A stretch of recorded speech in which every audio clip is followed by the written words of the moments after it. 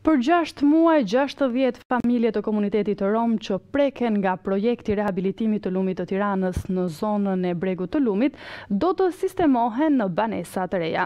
Ditën e sotme ka nisur puna për ndërtimin e banesave sociale pranë ish-repartit ushtarak në Shkozë. Këto punime u inspektuan edhe nga kryetari i Bashkisë së Tiranës, Erion Veliaj.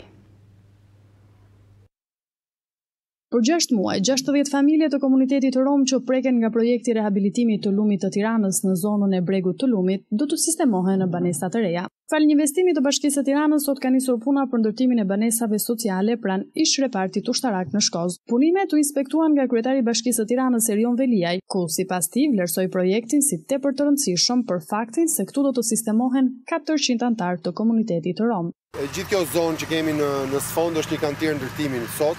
Deri dje kanë qenë kazerma ushtarake, të cilat Bashkia e Tiranës i ka marrë nga Ministria e Mbrojtjes për t'i përshtatur në apartamente dhe në fakt në një minilagje për gjashtëdhjetë familje.